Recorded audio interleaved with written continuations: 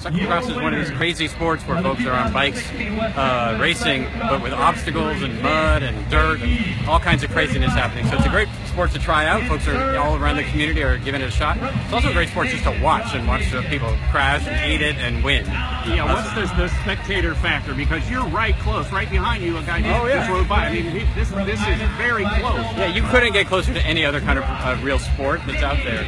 Uh, but we've got riders from all over the world uh, who compete at the top of their countries uh, that come to West Sacramento. This is the first stop on the USA Tour, so we're just really thrilled about it. If you don't know about cyclocross, there's not a lot of complicated rules. You just come out and watch, uh, cheer them on, and learn a little bit about the sports. There's kid races and food, and there's going to be uh uh four or five local live bands on the Garage Punk Band uh, uh, vibe